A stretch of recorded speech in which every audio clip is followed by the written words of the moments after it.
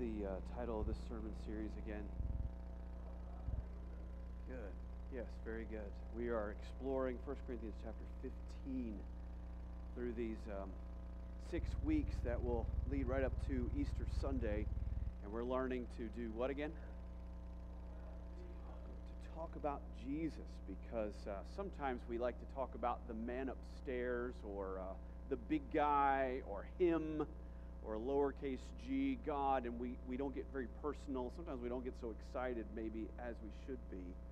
We're going to learn to talk about Jesus in a way that betrays how deep and how personal of a relationship that we have with Him. So, one more time, would you guys say it with me? Talk about Jesus. Now, in today's passage, in the very end, in verse 34, the Holy Spirit says this Awake to righteousness. Wake up. Wake up. Today we're going to learn how to talk about Jesus in a way that's going to wake people up. And that's important because sometimes we sleep or slumber in regard to the things of God, don't we? Every now and then, we know what Scripture says, we know how we ought to respond, but we're asleep to it. We've fallen into a rut, a funk, if you will, that we can't really get out of unless someone is willing to use their words to shake us and wake us up. And sometimes I'm guilty of talking to lost people about Jesus as if he is a reasonable option. Academically, it makes sense that, and more than that, folks are sleeping. The lost are in a dead sleep, and they need to hear us talk about Jesus in a way that's going to wake them up. And during this whole introduction, I've been looking around the room deciding who I want to pick on today. Thank you. But I pick on Donnie. I pick on Donnie every week, I think. So, uh, so David. you, David, remember the time that David told us, all of us, when Justin Bieber stopped by his house to use the bathroom? And he, the way he told that story, you're like, he was, he was so excited. He got him to sign all of the, his CDs, which David has. And he was talking about it not like this Justin Bieber stopped by my house the other day. He was talking about like this Justin Bieber came to my, the Beeb came to my house, and now we all have Bieber fever. And he's, look at my CDs. Look at all the CDs. Do you want to touch them? I don't think so. Not these CDs. And maybe with some excitement or some zeal, we could talk about Jesus in a way that's going to wake people up. Because if I talk about him as if, well, you know, yeah, there is Jesus, that's not going to do that's not going to do the trick. Another illustration from real life is that uh, for some reason I sleep really sound and I go to sleep really quickly, like within a minute or two sometimes while Amanda's still talking. And then I'm really sorry. I'm like, well, yeah, I'm with you. I'm with you.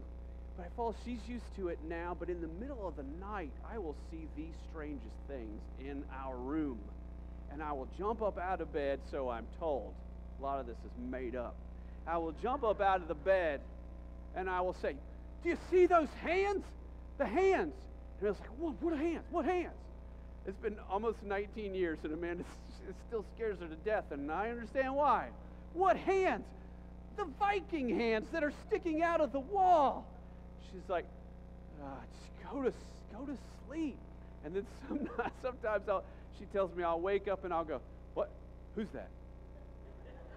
And I just stare, and she's like, who? What? And then I fall right back to sleep, and she's like, And I, I mean, I know I'm the only one that does this in the whole world.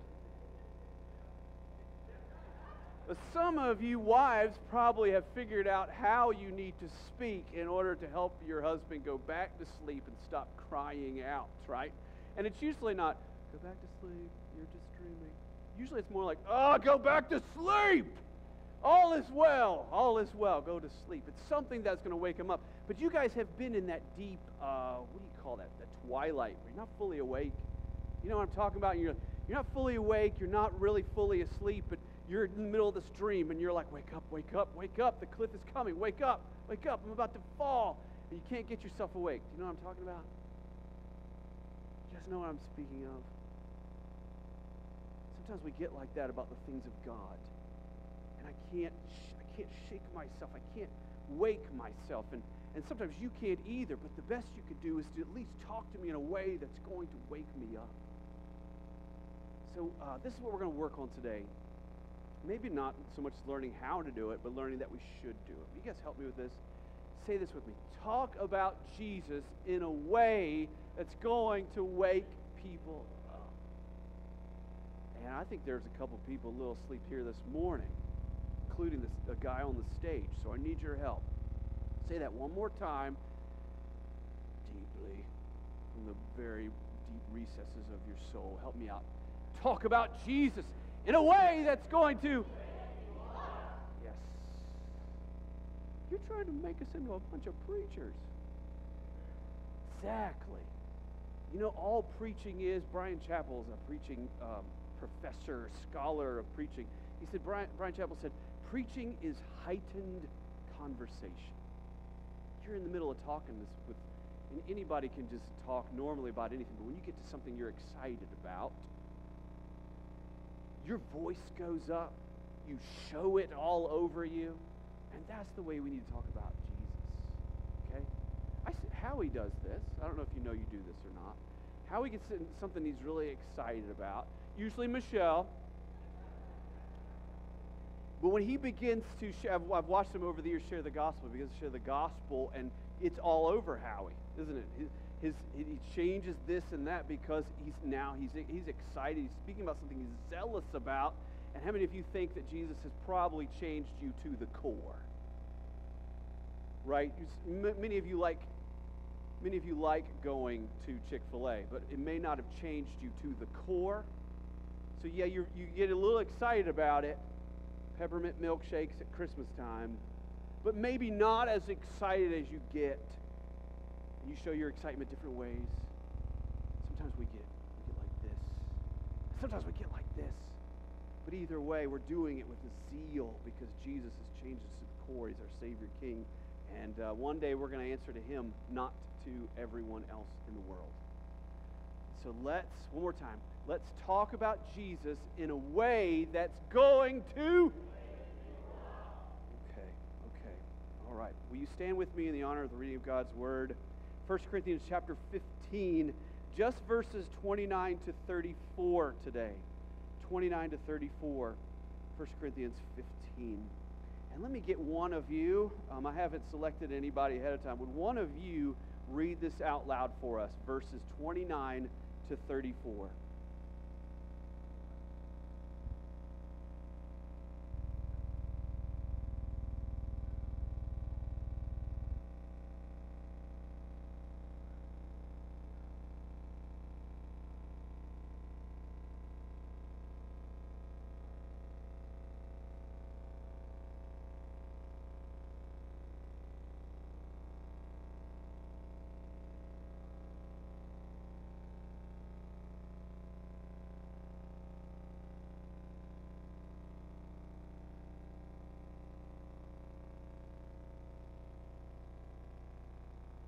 The entire camp said, Amen. Let's pray together, and we're going to have a quiet prayer all over the room. Lord, speak to me. Lord, show me how to talk about Jesus in a way that's going to wake people up. All over the room, let's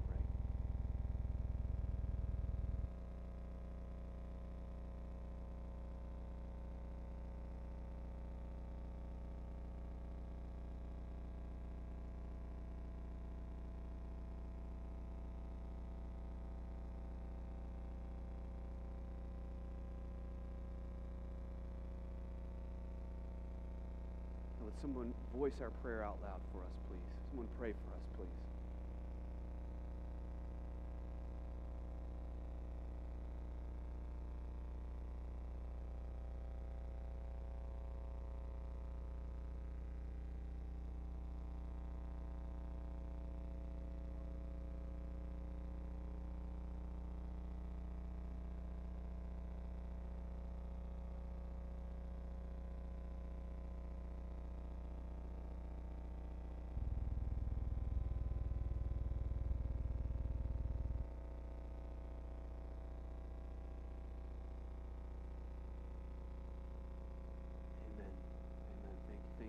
Please be seated and kind of get yourself your workspace there ready because we are doing personal Bible study. We continue to focus on our study of the Bible. So get your uh, your pencils, your calculators, your uh, compasses out, and your desk, your laptop, desktop there. Let's go to work on this passage and let's mine it. Let's dig at it and see what it has to say to us. You know that chapter 15 is all about the resurrection. That's not a word we use all the time. What does that mean? Sorry, one more time. Jesus Christ rising from the dead, and he is the first fruits. Later, who else will rise again? All who belong to him, right? And he, there are people in Corinth who were saying, ah, there's no resurrection of the dead. You don't need that old body. It's just junk. God doesn't care about that. All that matters is your ethereal soul goes to float around in the lights of heaven one day. And Paul says, no, no, no. That's, that's a Greek thought. That's a philosophical thought. That's not a Christian thought. Your body is important to Father God. He created it and it is important for you to have that glorified, resurrected body. And Jesus' resurrection is the foundation, really, for believing all those things. And so he's been working on that in chapter 15. And we get to this place here, beginning in verses 29 to 32, where the Apostle Paul makes this point. The resurrection gives meaning to our persecution. The resurrection gives meaning to our persecution. Read with me verse 29. Otherwise, what will they do who are baptized for the dead if the dead do not rise at all? Why then are they baptized for the dead? And why do we stand in jeopardy every hour? I affirm by the boasting in you which I have in Christ Jesus our Lord that I die daily. If in the manner of men I have fought with beasts at Ephesus, what advantage is it to me if the dead do not rise? Then let us just eat and drink, for tomorrow we die. In other words, if there is no resurrection, then why are we being persecuted? What's the point of going through these things if there is no resurrection? I'm out preaching about Jesus, and one of the main components of the good news of Jesus is that he died, was buried, and he rose and there is no gospel presentation if that is left out of it. And if it is an essential component, I'm out preaching it and people are beating me up for it. Why am I going through all that if there is no resurrection? In other words, the resurrection gives meaning to persecution. If it wasn't for the resurrection, why are we getting persecuted? It's a waste of time. It's worthless. It's meaning, meaningless. And he says this in verse 29. And let's start here. This is a difficult verse for some reason. And many people have said many weird things about this verse. Okay, so let's do a little work. Everybody, roll up your sleeves. Clear your throat a little bit. Put on your thinking caps. Perfect. Here we go. Otherwise, what will they do who are baptized for the dead if the dead do not rise why then are they baptized for the dead?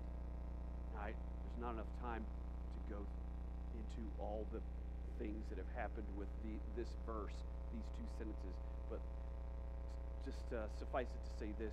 Some people have taken these two sentences, this one verse, and built a completely weird doctrine on it. There's nothing else in the rest of the New Testament about you going to be baptized on behalf of a dead relative. Is that what Paul means? Well, I, you're going to think I'm um, being, I'm using hyperbole here when I say that there are 200 different explanations for verse 29. But I'm not. There are at least 200 different interpretations of verse 29. So, what are we going to do? What are we going to do? somebody leans back and says, Well, I guess it really doesn't matter. Is that what we do? Maybe it's maybe at some other wimpy church you would do that, but what are you guys going to do about verse 29? Well, since there are different opinions about it, then no one can know. There is no interpretation. Is that what we do? No, we pull out our little brown cards, roll up our sleeves, and we do a little bit of work. Right? We're not afraid of a little bit of work, are we? We do a little bit of work, and I'm going to do a lot of it for you. And then you take it home and you decide if this is right or if this is just another one of those times where Trey's making up stuff. But verse 29, I believe, because of its grammar, because of the way it talks in view and connection with the other verses that follow, verses 30, 29 to 32, verse 29 to 32 form one paragraph, if you will, one uh, section of our passage today. And that entire section, I'm going to argue, is concerned with persecution. Okay, now you look at verses 30 and 31 and 32, and you say, well, obviously those are about persecution. Well, I'm going to tell, I'm going to eh, suggest to you that there's no big grammatical break, there's no big thematic break from verse 29 to verse 30. In other words, verse 29 also has to do with what? Persecution. You say, what, the, what do you mean? Well, it all comes down to how we understand how baptism fits into this. And I'm going to talk about baptism a bit more in just a second. Here's what he says in verse 29 What will they do who are baptized for the dead? Right here is a Greek word, huper, which can be translated as for, which um, for in, the, in English grammar is a preposition. Thank you. So uh, you can think of several different prepositions. But here is another way to translate who pair because it has a range of meaning. Words have uses. Here are some, here's another use of the way this word is used concerning. And I think it will help us understand Paul's meaning if we were to translate it that way here. Because the word is huper is translated concerning in other places. Listen, listen to what I mean. Instead of will what will they do who are baptized for the dead? Instead of that, what will they do who are baptized concerning the dead? Well, that didn't help me much, Pastor Trey. Hang on. If the dead do not rise at all, why then are they baptized concerning the dead? What in the world does baptism have to do with dead people? And you're like, I know what it has to do with dead people. I know what it has to do with two people who died. One, his name was Jesus Christ, and he died. And he died for my sins. And I know what baptism has to do with another person who died. Can you guess who that is? Me. Okay, you guys with me now? You, you're ahead of me. You're ahead of me now. You guys are the, the scholars I knew you would be. Let's talk about baptism for a second. Baptized concerning the dead. The dead here, I, I'm suggesting Jesus Christ, whose death we've been talking about through the whole chapter and Trey's, yours. Identity. When I was baptized, I identified with Jesus' death. Is that all? And with his burial. And that's it. Say, if that were it, Trey, you wouldn't be here today because, ready? I baptized you in the name of the Father, Son, and Holy Spirit, buried with him in death Are you with me? Paul's like, that's no good. That's not going to work.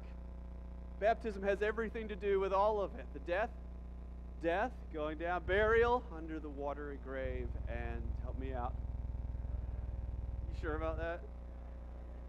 Raised to walk in newness of life. And everybody's like, he made it. He made it. The resurrection.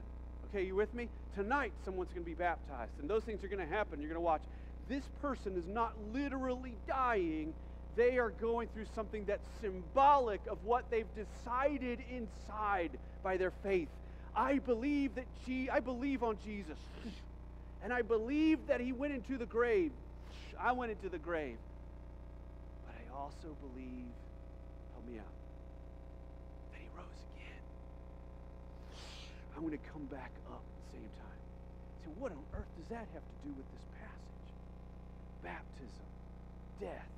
People who are baptized are identifying with Jesus' death, their own death. And when you die to your own life, what is happening? What are you doing? What are you saying? I get a new life, right? But what's the old life that I'm dying from? The old life that who was in charge of? Who was making the decisions? But this new life, I'm doing what with? I'm submitting it to Jesus. Are you with me? The old life was a life of rebellion against Jesus. I was an enemy of God. But that person is dead, thank goodness, because he would be punished eternally in hell, only to be reborn as a person who's now walking this way and saying yes to Jesus as Savior King. Are you with me? Now, you and I, man, we, were, we're, we live in this world that says, well, yeah, Jesus wants you to do all those things that are going to make you happy. And, but I read these passages of scriptures like we started with in Mark chapter 8 where Jesus says, if you want to follow me, you have to do what? Take up your cross. You, you've got to let go of your life. What does Jesus mean by take up your cross? Oh, we've, we've also reinterpreted that. Well, my cross is my, my chronic sinus. My cross is my, you know, my arthritis or my. No, it's none of those things. What did the cross mean for Jesus? It meant death. It meant I am on my way to Calvary with you. Jesus, when he said those things, was, was moving from the north, from Galilee to Jerusalem on the Calvary Road. I am going to die. Do you want to follow me there? And most people are like, no. Some people, yes, I do. And Matthew, he makes it very clear. Jesus says, if you do not take up your cross, you have no parts of this. The only people who get this are the ones who see that this is life and it's worth so much that I will walk into the face of death to have Jesus. Now that's what the new life is. That's what this raised life is. It is a life of I will go where you go. I will, I will go wherever you send me. I will talk about Jesus there. If you, you tell me to do it, I will have to say yes to you, and I will say yes to you gladly. That's the new life. That's how Jesus presented it to people. This is what the Christian life is. And Paul took that pretty seriously, didn't he? So now let's go back. Verse 29. Let me give you the expanded Hensley version of verse 29. What good is the death part of our baptism, the part where we die to our own will, the part where we take up the cross and identify with Jesus' sufferings. What good is the death part if there is no resurrection part of our baptism? That didn't fit all right here in my side note. I had to scribble it in down here at the bottom. But I believe that's how we take verse 29. I don't think it's designed to be some new weird practice. I think what Paul is saying is what good is that whole death part of baptism, the part where we die to our own will, the part where we take up the cross and identify with Jesus' sufferings if there is no resurrection part to our baptism. That's all worthless. It makes no sense at all. Have I created more questions than answers? Or say, I'm good. Let's go. Let's roll on. Put the hammer down. Put the hammer down. Persecution is when people mistreat us because we're talking about Jesus. You know, I could say, well, persecution is when people mistreat us for being a Christian, But that kind of assumes somehow that I'm just standing around being a Christian. People are mistreating me for it. Now, that's not why people were persecuted. People were persecuted because they talked about Jesus. They believed on Jesus and they lived their life that way and they wouldn't shut up about Jesus. And Paul is one of those people. He just won't shut up about Jesus. So, because of that, he's persecuted. And if there's no resurrection, that persecution has no meaning. Verse 30. Why do we stand in jeopardy every hour? Every moment, my life is at stake. Why? Why? If there's no resurrection, why? I could be preaching a totally different gospel. Everybody be okay with it. Yeah, Jesus lived, he's a great teacher, and he died. Okay, cool. But I'm saying he rose from the dead, and man, that really offends people. And that's getting me in trouble. And that means I'll also rise from the dead one day. I affirm by the boasting in you which I have in Christ Jesus our Lord. I'm so proud of you. You guys, some of you here in Corinth, you've been persecuted as well. And that persecution is not meaningless. I die daily. Every morning I wake up expecting to die. Every morning I think, is this going to be the day that I finally give up my life and identify with the very death of Jesus Christ? And that's what Paul said his, his goal in life was in the book of Philippians. To share in the sufferings of Jesus Christ and maybe, maybe even in his death, dying like he did. If in the manner of men, verse 32, I have fought with beasts at Ephesus, what advantage is it to me? He's speaking figuratively. These guys in Ephesus, they were like a bunch of beasts, like a bunch of thugs, creatures.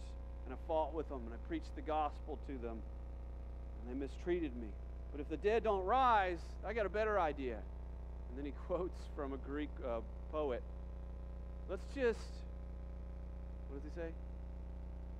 Eat, drink, and be merry. Come on, that's how we, that's our default way of living, right?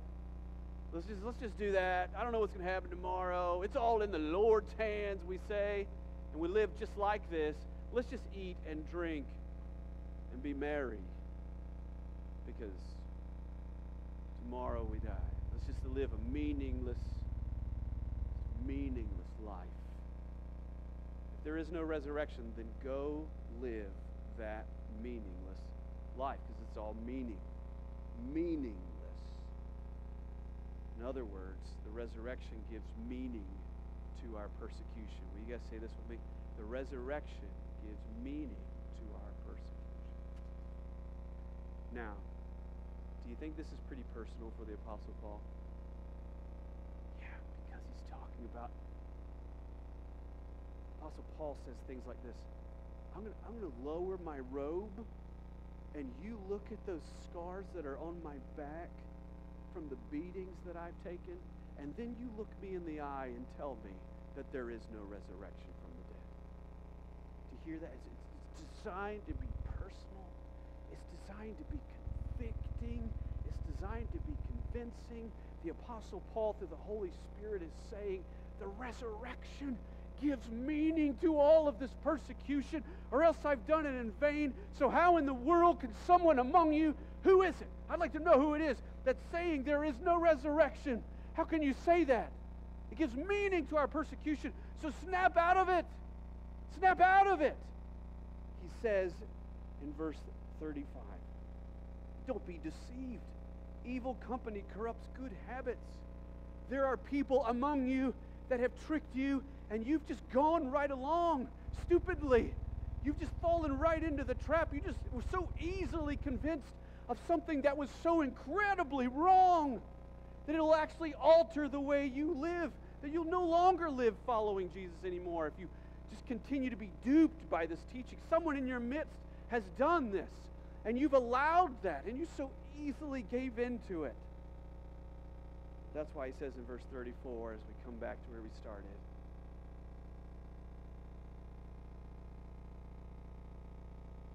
wake up. Wake up. Again, the expanded Hensley version. Snap out of it. Snap out of it. Shaking them in the bed because they're just having this crazy nightmare, shaking them. Snap out of it. Snap out of it. Snap out of it. How can you continue to believe these things? Awake to righteousness and do not sin, for some do not have the knowledge of God. Surprise, there are people among you who do not know God. They think they do, they talk like they do, they're corrupting the rest of you as if they do. And I'm speaking this to your shame. You ought to be ashamed. You ought to be ashamed that you've allowed these people to keep talking. You ought to be ashamed that they're, if they're even still in your church, that they're even there. I speak this to your shame. You, you've just so easily gone after a false teaching that's going to lead you down the wrong path. The resurrection is everything. It's everything.